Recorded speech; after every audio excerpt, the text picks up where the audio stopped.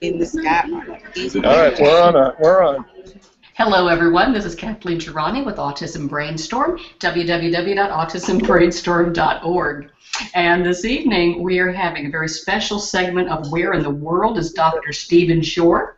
And Dr. Stephen Shore is liable to be anywhere in the world, but always improving life for people on the autism spectrum, one trip at a time. Hi, Stephen. Hi, hi, Kathleen. It's talking You're to you. joining us from the um, Autism Speaks National Conference.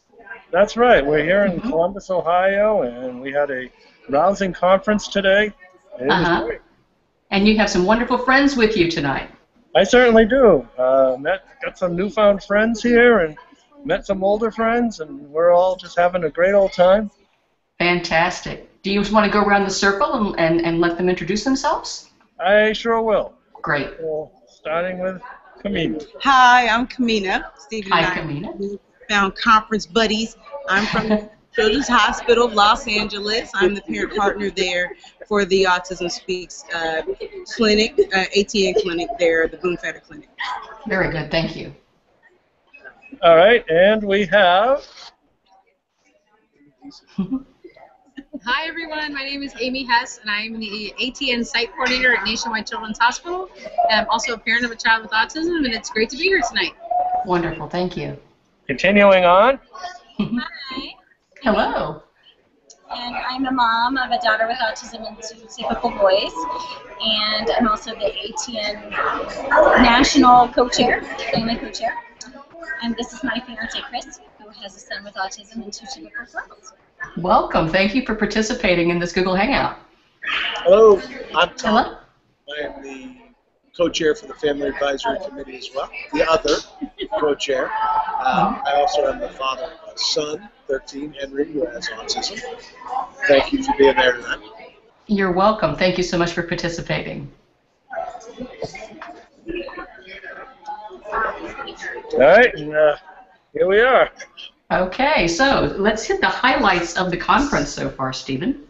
All right, so I'm going to talk about the highlight highlights, and uh, anyone who has anything to interject, uh, feel free to uh, uh, feel free to interject what needs to be said. So let the fun begin. okay, you were the keynote speaker, correct? That's correct.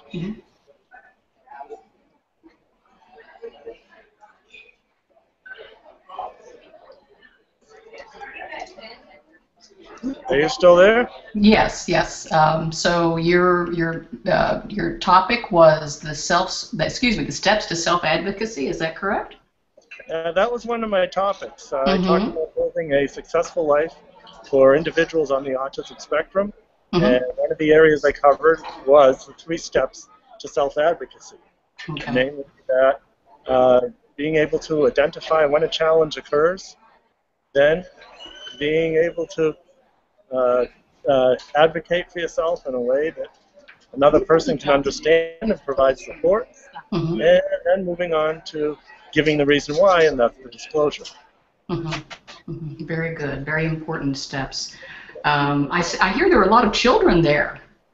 That's. Oh, There were children there. They had a special room for the children where they provided games Oh, that's right. and things like that. Oh, okay. Uh, so uh, what it was is that there was a special room Uh-huh. uh, for children on the autism spectrum, uh, games and other things uh, that they would enjoy. Well, that's awesome. Wonderful. Yeah. So it's a so it's a full inclusion sort of an event. Lots Yeah, of family and kids. Yeah. Yeah, we were all here, and we're all here for individuals on the autism spectrum. Otherwise, Autism Speaks and other organizations wouldn't exist. hmm Definitely. Definitely. So, um, other than you, wh- who were the other presenters for the conference? Uh, well, some of the other presenters included included Peter Gerhardt, uh, Mhm. uh, Susan Swedo, and there were a number of Paul Carbone. Paul Carbone was here. Mhm. Um, uh, there was uh, Susan. Well, got Su- Susan Swedo, Susan Swedo, you got her. Right? Um, oh, we had our parent presenter. Um, and there were parent presenters as well. Uh, And, so the, the lady that you just that just introduced herself, uh, Mhm. Amy, She Right. was one of our speakers. Okay. Do you want to tell us about the parent presenters? Oh, absolutely. Please do. Okay. Okay. Go right in. I guess I can chime right in. Thank you. Yes. that um, one of the benefits that we have being here in Columbus, Ohio, and having the um, Nationwide Children's Hospital parents be a part of it is we have a lot of our uh, parent partners that get to actually be presenters. Um, We have um, Carla Garcia Diaz, which is my parent partner from CHLA. She's my other half. Um, and she actually spoke about her with her daughter, who is seven.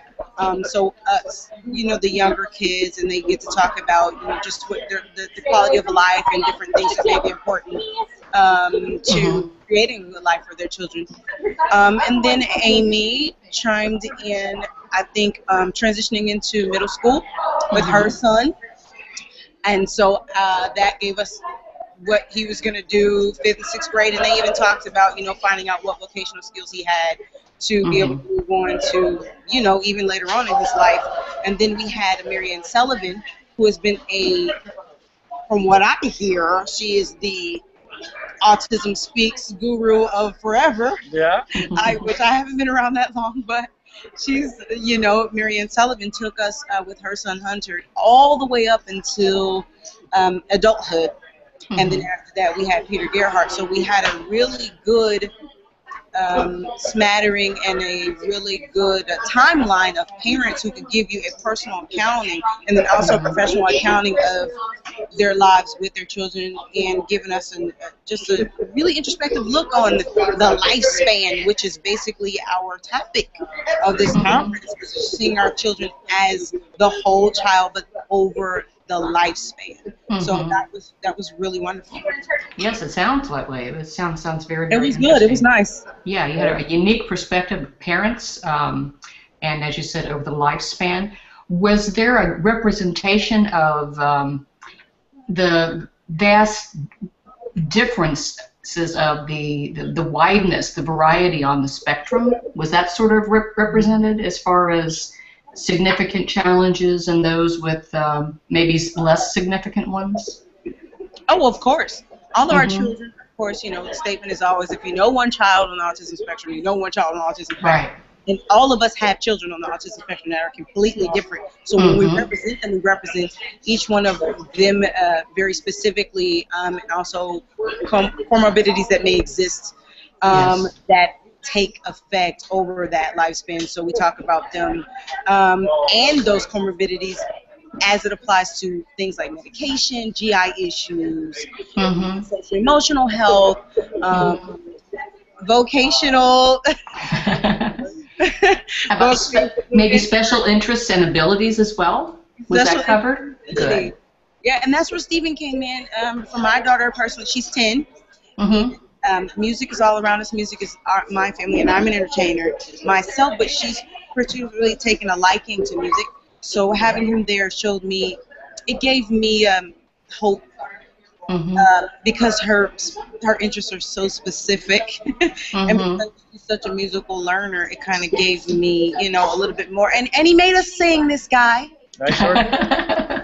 yes, So- he is like that. Yes. so you know, it instantly like made us fall in love with this guy. Like he really like he brought to us what our kids could be when they grow up. If that makes any Mhm. sense. Yes, it absolutely does. A glimpse of potential. Yeah. So we're all like happy about it, and we're like all gushing over this guy's presentation, you know, because we're like, oh my god.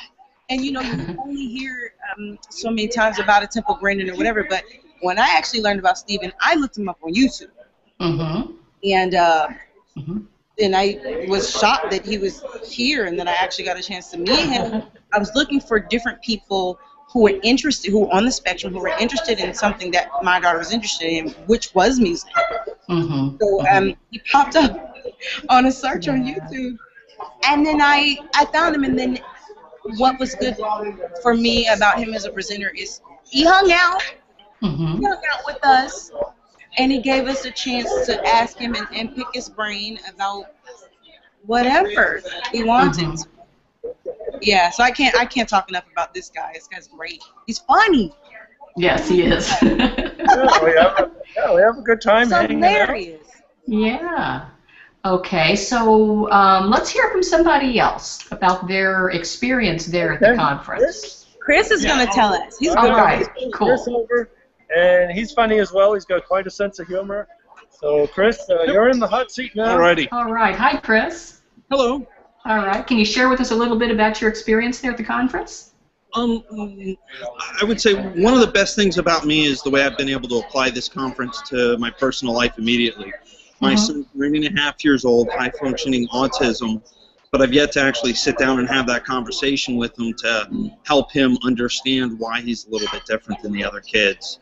And Mhm. thanks to you know the kin- keynote speaker from today, I was actually given some very powerful and valuable tools for the proper way to address that conversation and bring it up in a way that my son would feel empowered Yes. instead of Yes. um, instead of at a disadvantage. So thanks to that, I'm going to go home and, and start, you know, strategizing that conversation to highlight all of his positive attributes and all the things that he excels at that the other children don't to show him how he'll be able to make autism a strength instead of a, a challenge that needs to be overcome.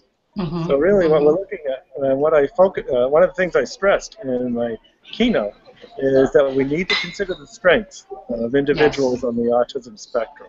Mhm. So moving away from a disability and deficit model to an abilities-based model. And the abilities-based model, uh, as we look at the strengths and potential of people with autism, it also takes into account that people with autism have some real challenges. And Mhm. some of them are really significant challenges. If Yes. challenges did not exist, then we wouldn't be all, we wouldn't be here all trying to figure this out. So they Mhm. are there, and we do have to work with them. And Mhm. at the same time, we also need to be cognizant of the strengths and abilities. Mhm. Did you have a, an opportunity, Stephen, to get into your comparative approaches philosophy?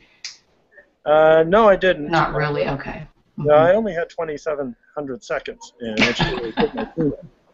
And uh, so I'm going to save that maybe for, uh, well, I'll save that for a future conference. Right. The, Right. the idea behind the comparative approaches is that rather than trying to figure out which is the best approach, whether it's ABA, Miller method, Floortime daily life therapy, TEACCH, and so on, it's really a matter of finding out which approach best meets the needs of the individual. Right. So it's matching practice to individual needs. Mhm. As Tamima mentioned a little bit earlier, when you've met one person with autism, you've met one person with autism. Mhm. We're all going to have different needs. Yeah, I had an interesting conversation with our friend Robert Nassif last night, and one thing that came up uh, over and over was that um, the strengths, the this the um, the perseverations, if if you will, the special interests are the window into communication and the window into um, real and meaningful learning. Oh, he's absolutely right. It's the Yeah. window to communication. It's the window to developing a relationship with your child. And if that means sitting on the floor and stimming and flapping with them until they notice you, then that's what you do. And once you build that connection, hmm then you can move on to other things. Absolutely, absolutely, and um, wow, I, I think that it's wonderful that you're that you're having the opportunity to present in such varied settings with lots and lots of different um, groups of people. Uh, you were going to say something. Go ahead, Stephen. Oh, uh, well, just uh, uh, riffing off of what you said, it's, it's a great honor uh, to be able to come to these different and widely varying organizations, hmm organizations that are just as diverse as we find people on the autism spectrum, and to be able to find ways to help people better understand those of us with autism, how to better support people with autism, and how we can all work together, whether we're talking about parents, hmm individuals on spectrum, uh, therapists, educators, doctors, and other professionals in the community, and making life better for people with autism and Mhm. everybody else. And this is a group conversation. This is this requires everyone's input. It's a collaborative discussion really we're having. does. Yeah. Yeah. Okay. Do we have anybody else who would like to share a little bit about their Well, experience? let's see. Uh, let's see. Can we get somebody else? this Amy or is great. This is great. I'm good. Oh. Yeah. You're on your own, Stephen. Got a rowdy bunch there, Stephen. Yeah, yeah. It's, it's a pretty rowdy bunch. Yes, it is. So it looks like we've got another person here. All right, Wonderful. that's great. All right, so Hi, everybody. Hello and welcome. Thank you.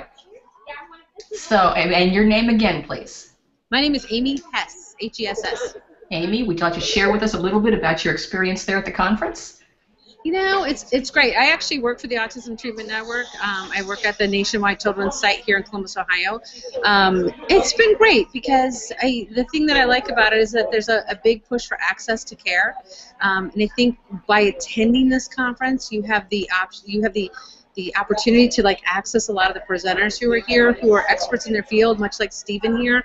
Mhm. Um, who goes into medical care, which is great. So you can talk to people like Margaret Bauman, who you can talk to about GI issues and neurology issues. And so for a lot of families who are searching for you know information about those things, they have access, which is really good here. Mm-hmm. Mm-hmm. Very good. Very good. So, um, what was what was your impression of Stephen's um, keynote?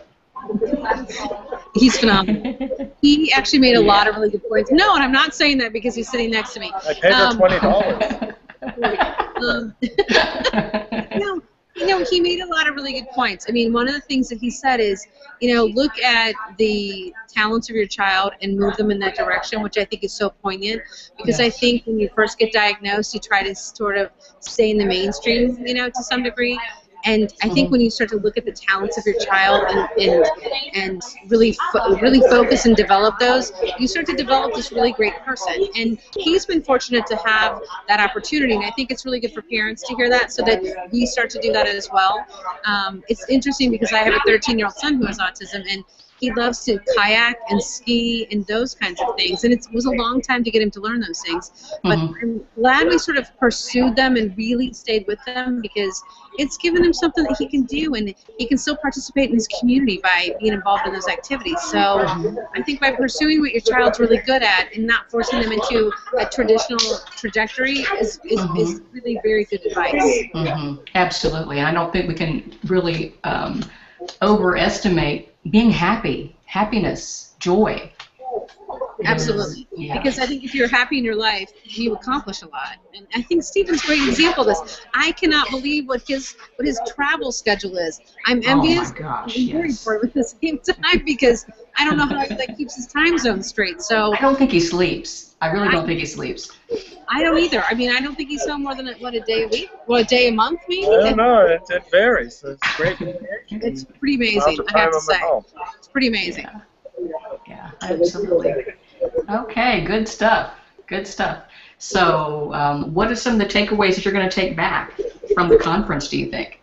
You know, we talked a lot about transition, and um, Stephen talked a lot about that. Peter Gerhardt talked a lot about that. I, my son just turned 13, even though I refuse to call him a teenager, he is. Um, so we're like focusing on that part of his life. Uh-huh. And it, in the initial stages, we were, I know I was very reluctant to get into transition issues, but I think now I'm kind of excited about it because it's, you know, it's it's planning for a life, it's planning for a career, it's planning for, you know, a future. And I think it's great to be able to do it at the age of 13 so that by the time he gets to 18 and 21 and 25, we got some really good things going on. It's going to be a lot of work, but I'm, I'm excited for it. So I think mm-hmm. I'm taking away that, and I think I'm still taking away the message of how to access care and how to manage ongoing care and really good effective care.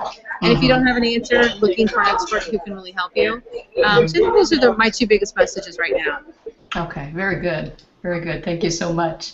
Absolutely. Okay. I'm going to go find another guest for you. Okay. Great, thank you. Stephen's a rock star. yes, he is. Well, it You- looks like we've you- got another person coming up. Wonderful. So while we're waiting for the next person, it's uh, been a lot of fun at the conference. We just finished a speaker dinner and Lovely. having a rousing good time. Uh-huh. And looks like we've got Amy here. Amy Kelly. Amy Kelly is here, and Okay. Hi, Amy. Amy, here she Hi. is. Amy Kelly.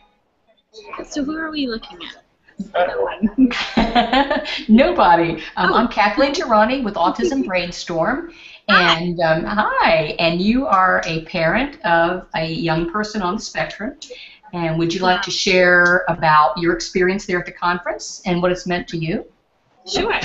Thank you. Um, so yeah, no problem. I'm um, a mom of three kids: um, Mhm. Danny, Annie, and Ryan. Danny's 12. My daughter, Mhm. 11. Ryan's 9. Annie is the one with autism, ironically. So I have a daughter with autism. I really beat the odds. Mhm. Um, no one can figure that one out. We don't have it in our family, so I'm not sure where that came from. But um, and Annie was diagnosed about 10 years ago. Stephen was one of the first presenters I ever saw. Oh, okay. Yeah, I've heard him several times, and um, the conference. I'm here on a dual part. I'm here as a parent, but also as um, at the ATN Autism Treatment Network Mm-hmm. co-chair with Tom Hess. Okay. Um, he's my counterpart. That's me. Wait, he's right there. Hi. Hello. Aim that up. Here. Mhm. Okay, hold on. We're readjusting. Okay. Here we go. Now There we getting go. a view from below a little bit. There we go. And this is my second conference, so Mhm. this is it's the second annual. Um, and I have to say, at each conference, I've learned something new and Mhm. very powerful. The first one, I was having so Annie was about ten, and we were having potty training issues still with her. She's Mhm. nonverbal, needs an iPad, has apraxia, IDD, pretty severe. Um, Okay. At what age? At what age was she diagnosed? Was diagnosed right before she turned two. Two. Okay. Two, yeah. Mhm. And I would say that um, last year's conference provided me with the wherewithal and the knowledge to know what to do about her constipation issues Mhm. to the Mhm. point that we took care of them when I got home. And we learned that they weren't a behavioral thing, but they were actually a physical manifestation of Yes. something else going on with her. Boy, that was life changing, wasn't it? That Huge. awareness. Yeah. There's a blog on Autism Speaks website about it. I, I wrote for them. Um, yeah, yeah, I can't even tell you how life changing.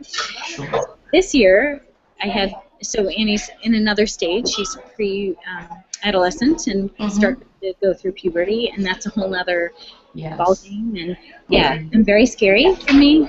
Um, so, you know, I, I was able to talk to some doctors and psychiatrists here that I would never ever have.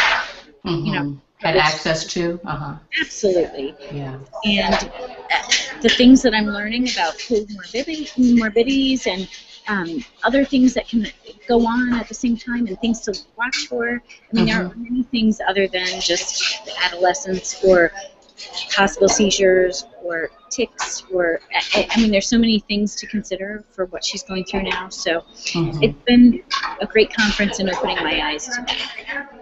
Good, good, good. I'm glad that you're getting some very real and very meaningful information that will um, improve the quality of your life. That's wonderful. Yeah. It really will. Yeah. Yeah. Okay, uh, Stephen, did you have anything to add to, to what Amy just shared? Well, I think it's uh, uh, Autism Speaks has provided a great venue Mm-hmm. in which people, uh, all parts of the autism community, including those of us on the autism spectrum, can share our experiences Mm-hmm. and insights so that we can help parents and everybody else in the autism community uh, assist those with autism to lead fulfilling and productive lives to our greatest potential. Mm-hmm. Mm-hmm.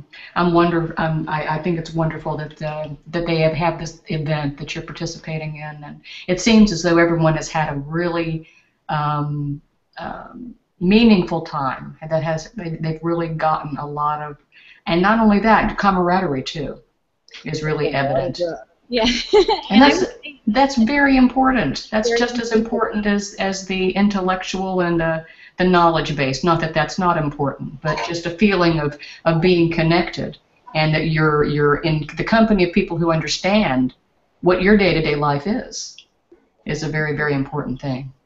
And I've gotten to know Stephen better, who's going to help me Yes. with position issues. Oh, yeah, So, yeah. we have That's a lot already. coming up. I'm going to pick his brain for. Cool stuff. Okay, did we have anything else we wanted to share, Stephen?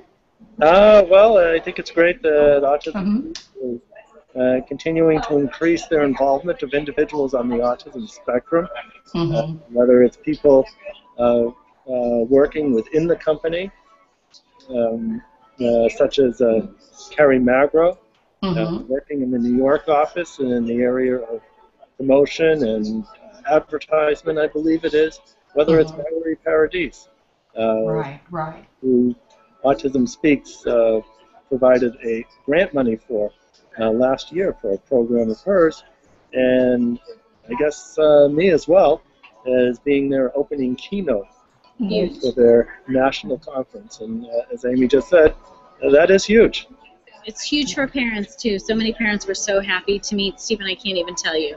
Oh yeah, the just the hope factor. The hope Yeah. factor. Yeah. Absolutely, we all say that. Right, right. Stephen is Stephen is just he's just he's unique. He is there is no one else like Stephen. But there are an awful lot of advocates who are on the spectrum, and they're becoming more and more visible, as you were saying, Stephen. So That's right. Yeah. Mhm. But we all And- have hopes for our Stevens. Yes. Successful people on the spectrum there are all over. Are all Well, over. As I said during my keynote, I think we have the knowledge, we have the ability, we have the techniques, we have the technology, so that if we Mhm. get the right resources to meet the needs of individuals on the autism spectrum, people with autism leading fulfilling and productive lives can become the rule rather than the exception. Absolutely. I think that's a beautiful place to end. Thank you so much, Stephen. Thank you, Amy. Thank you, everyone there who participated. We really appreciate you. Thank you so much. Um, and thank you, everyone who's watching Autism Brainstorm. Thank you, and we'll see you next time. Bye for now. Bye bye.